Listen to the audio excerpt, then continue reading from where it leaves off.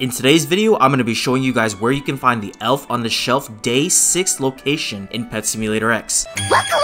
So we are here in the Christmas world and what you want to do is hit that teleport button or you can walk to the North Pole part of the map. And to our left right here on top of the igloos there is the elf for day number 6. So let's go ahead and make our way up there and claim our rewards. Press the letter E as always.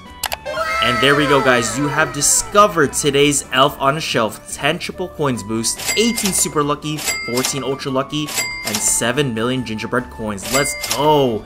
And as you guys can see right behind me, Hi. I did get a huge snowman. And unfortunately, I did not get it from Santa Paws. Shout out to the guy from the Philippines who gave it to me for the huge snowman. It's being put to good use. Yes, sir. Here we go, guys. 2,960 exists. Hopefully, we can get it up until like at least January because Christmas is in two days. Hopefully, they don't end the event. And also, guys, this Saturday, we can also get this Titanic looking huge festive cat. As you guys can see, the snow is slowly starting to melt on him and I assume we have to pay a big amount of gingerbread coins to hatch him. So make sure you guys are farming for that. And also I just wanted to say that if you go ahead and go to the spawn world, you guys know how the update hype gifts work. You have to join within 5 minutes left to get a free one. I guess Preston said that people were making too many alts and claiming too many. Now we can only get one update hype gift at 1 minute left, which kind of sucks. You know, you basically can only really make like 2 or 3 alts if you're fast enough to get these hype gifts. The economy on them has kind of blown up. They're around 3 bill, maybe 2.5 bill. And also guys, for this Saturday, we get a 5% chance of getting a stocking exclusive egg gift. And right here, the stocking contains the elf cat, the elf dog, and chances of each being a huge with 1% each. So make sure you guys log in at 1 minute before the update. Obviously, there is a timer right here. Happens every Saturday at 11 a.m. Central Standard Time. But yeah guys, hopefully you did find this video helpful. Make sure you guys leave a like if you did. But with all that being said, this is Cream Puff K signing out.